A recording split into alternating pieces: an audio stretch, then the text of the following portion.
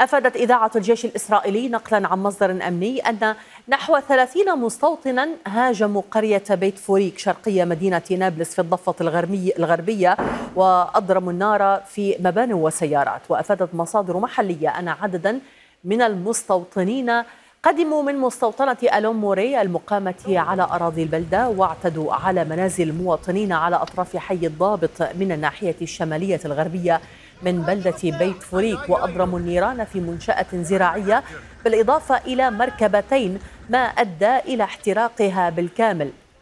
وقد اندلعت مواجهات بين الشبان الفلسطينيين والمستوطنين وأجبروهم على الانسحاب فيما اقتحمت جيبات عسكرية إسرائيلية البلدة تزامنا مع الهجوم. وأمنت خروج المستوطنين من البلدة.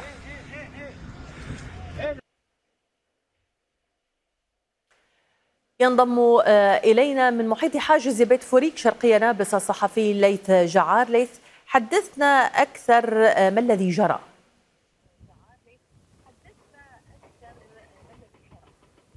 نعم يعني آه، رولا منذ قرابة ساعة ونصف الساعة من الآن مستوطنون هاجموا بلدة بيت فوريك من مستوطنة ألون موريه المقامة على أراضي البلدة. عدد من المستوطنين هاجموا مزارع الفلسطينيين أثناء عملية قطف الزيتون في الأجزاء الشرقية وكذلك الشمالية والغربية من البلدة. وقاموا بإضرام النيران بمركبتين ومنشأة زراعية فيما تصدى المواطنين لهم بالحجارة ما أدى إلى رجوع المستوطنين إلى محيط المستوطنة. ومن ثم أعادوا مجددا الهجوم نحو البلدة وقاموا برشق عدد من المنازل ورشق المواطنين بالحجارة. هاجموا مركبات الفلسطينيين عند حاجز بيت فوريك الذي قام جيش الاحتلال بإغلاقه على مدار ساعة ونصف الساعة ليفتح قبل لحظات قليلة فقط ويسمح لعشرات المركبات التي كانت عالقة في هذا المكان بالدخول إلى بلدة بيت فوريك هنا لربما نشاهد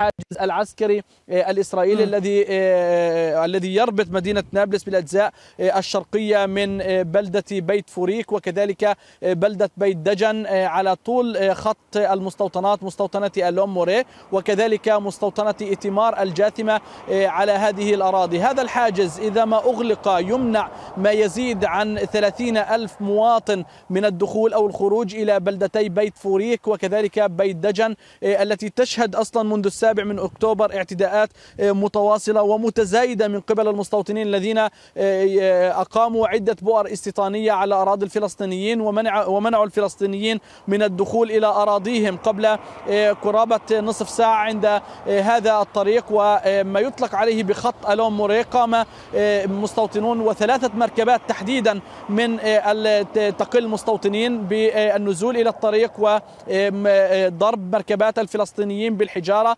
ما أدى إلى وقوع أزمة خانقة على هذا الطريق ليسمح بعدها للفلسطينيين من قبل جيش الاحتلال الذين قاموا بإغلاق الطريق وبمرور هذه المركبات لكن هناك صعوبة حقيقة رولا في الدخول أو الخروج إلى البلدة هناك تفتيش متواصل من قبل جنود الاحتلال الذين يتواجدون على هذا الحاجز. وكذلك اعتداءات على بعض الفلسطينيين من تنكيل وتخريب لممتلكاتهم. هذه هذا الطريق الذي لربما تشاهدونه هو خط ألوم موري الذي يصل إلى مستوطنة ألوم موري المقامة على أراضي الفلسطينيين والتي التهمت عدد كبير من أراضي الفلسطينيين قبل أيام آه، وعفوا قبل أسابيع كان هناك تصريحات من قبل آه، بتساليل سموتريتش والذي آه، فرض مصادرة لعدد كبير من الدنومات لصالح إقامة هذه البؤرة الاستيطانية التي تظهر في الصورة وهي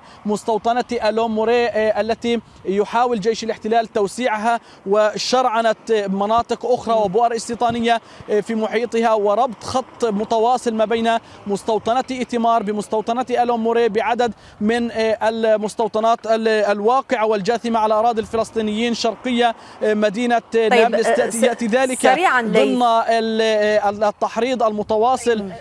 نعم. سريعا ليث عندما تتكرر هذه الممارسات من نعم. قبل المستوطنين ما هو المطلوب من الفلسطينيين أصحاب المنشآت الزراعية أصحاب المركبات والسيارات؟ ما الهدف من ذلك بالنسبة للمستوطنين؟